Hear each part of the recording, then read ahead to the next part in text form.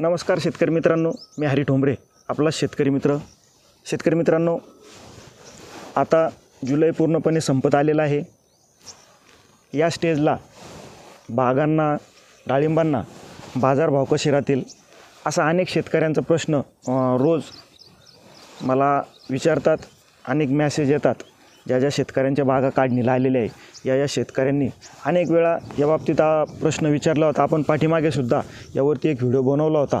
आणि त्याच पद्धतीनं जवळजवळ बाजारभाव सध्या तरी आपल्याला दिसून येत आहे. शेतकरी मित्रांनो डाळिंबागेमध्ये येणाऱ्या काळात बाजारभाव वाढतील का? बागा थांबाव का? बागांचे जे सध्या रेट चालू आहे यामध्ये किती पट वाढतील? बागा ठेवाव्या की विकाव्या असे अनेक प्रश्न शेतकरी रोज विचारतात. यामध्ये शेतकरी मित्रांनो कोण कोणी कोणी बागा ठेवायला चालत्या आणि कोणी कोणी बागा नाही ठेवू ठेवायला पाहिजे हे आपण आजच्या व्हिडिओच्या माध्यमातून बघणार आहोत. यामध्ये पहिला मुद्दा जे जे शेतकरी म्हणतात डाळिंबागेला या ठिकाणी येणाऱ्या काळामध्ये किंवा पुढच्या महिन्यामध्ये ऑगस्टमध्ये आपल्याला दर मिळतील का? आपण त्यावरती सुरुवातीला बोलू. शेतकरी मित्रांनो सध्या डाळिंबाचे जे दर चालू आहे यामध्ये जो जो आतापर्यंत खराब माल झालेला होता अनेक शेतकऱ्यांच्या ज्या ज्या परिसरामध्ये तेलाचा प्रादुर्भाव जास्त होता त्या त्या परिसरामध्ये जी जी मालं खराब झाली होती ही मालं शेतकऱ्यांनी त्या ठिकाणी मार्केटला नेलेली आहे त्याचा बाजार आतापर्यंत झालेला आहे. परंतु अनेक शेतकऱ्यांच्या बागा ह्या चांगल्या आहे त्या शेतकऱ्यांनी माल हे थांबून ठेवलेले आहे अनेक शेतकरी म्हणतात की आपण एक ऑगस्टनंतर बाजारभाव बघू आणि नंतरच आपल्या बागेचे या ठिकाणी हार्वेस्टिंग आपण चालू करू. परंतु शेतकरी मित्रांनो ऑगस्टमध्ये सुद्धा आपण गेल्या काही वर्षाचा अनुभव जर बघताना या ठिकाणी जर बोलायचं झालं तर ऑगस्टमध्ये आपण जवळजवळ दहा बारा ऑगस्टपर्यंत आपल्याला काही प्रमाणात बागांचे सौदे चांगले झालेले दिसून येतात. परंतु पंधरा ऑगस्ट दरम्यान जो बाहेर राज्यात जाणारा माल आहे किंवा बाहेर जाणारा माल आहे बॉर्डरच्या कारणांमुळं त्या ठिकाणी एक दहा बारा दिवस मध्यंतरी जवळजवळ बारा तेरा ऑगस्टपासून फक्त बावीस तेवीस ऑगस्टपर्यंत या काळामध्ये आपल्याला बऱ्याच ठिकाणी सौदे खूप कमी झालेले दिसून येतात.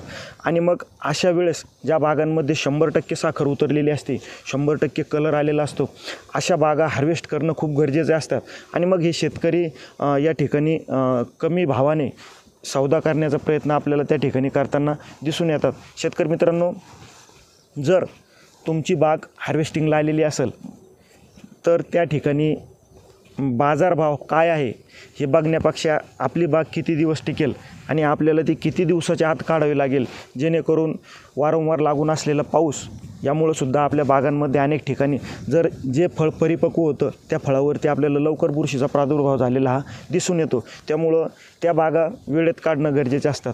दुसरी गोष्ट अनेक शेतकऱ्यांच्या बागांमध्ये भरपूर प्रमाणात गवत वाढलेलं असतं. हे गवत फार झाडांपर्यंत गेलेलं असतं.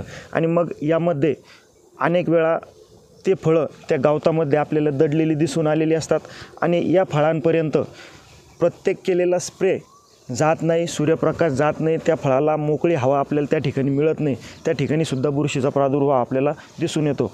तीन नंबर अनेक बागांमध्ये शेवटच्या स्टेजला आता भरपूर आघारी आलेली असतात आणि या आघारीमुळं ते फळ पूर्णपणे झाकलेलं असतं.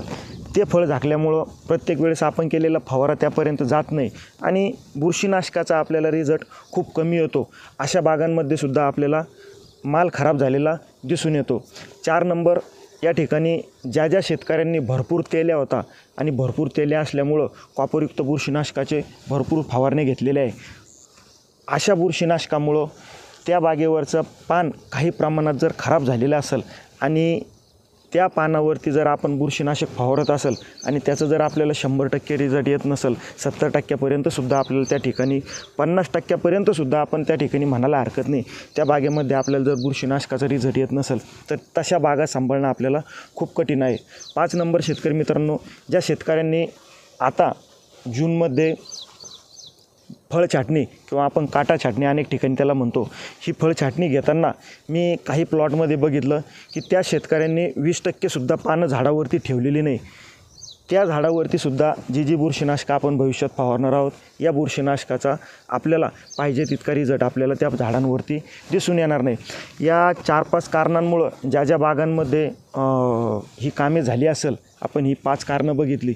या पाच कारणापैकी एकही कारण जर आपल्या बागेमध्ये झालेलं असेल किंवा एकही चुकी आपल्या बागेमध्ये झालेली असेल तर त्या बागा सांभाळणं आपल्याला खूप जड जात आहे जाणार आहे. त्याच्यामुळं अशा बागा आपण काढणं खूप गरजेचं आहे. डाळिंबाला गेल्या दोन तीन वर्षापासून जे दर मिळत आहे हे भरपूर चांगले आहे. अगोदरचे सुद्धा दर आपल्याला चांगले होते परंतु मध्यंतरी ज्या ज्या परिसरामध्ये तेलाचा प्रादुर्भाव झाला होता त्या त्या परिसरामध्ये माल खराब निघाल्यामुळं त्या ठिकाणी डाळिंबाला आपल्याला दर मिळाले नाही. परंतु ज्या ज्या मालांना कलर आहे ज्या ज्या मालांना साईज आहे या या मालांना आपल्याला दरवर्षी चांगला दर मिळतो. जुलैनंतर आपल्यांना सर्वांनाच माहिती आहे दरवर्षी जुलैनंतर बाग्यांचे दर हे खूप वाढतात. ज्या ज्या शेतकऱ्यांचा माल हा टिकू शकतो त्या शेतकऱ्यांचा माल त्या ठिकाणी त्यांनी सांभाळण्याचा प्रयत्न करा. ज्या शेतकऱ्यांच्या मालाला त्या ठिकाणी कलर आलेला आहे साखर उतरलेली आहे फळामध्ये गोडी आलेली आहे साईज भरपूर आलेली आहे अशी मालं त्या ठिकाणी बाजार करणं या शेतकऱ्यांनी खूप गरजेचं आहे. त्यामुळं उगाच या ठिकाणी बागा थांबून ठेवणं हे शेतकऱ्यासाठी चुकीचं आहे. शेतकरी मित्रांनो तुम्हालाही काही प्रश्न असतील तर मला कमेंट्स बॉक्समध्ये जरूर विचारा. मी त्याला उत्तर देण्याचा या ठिकाणी प्रयत्न करेल. धन्यवाद.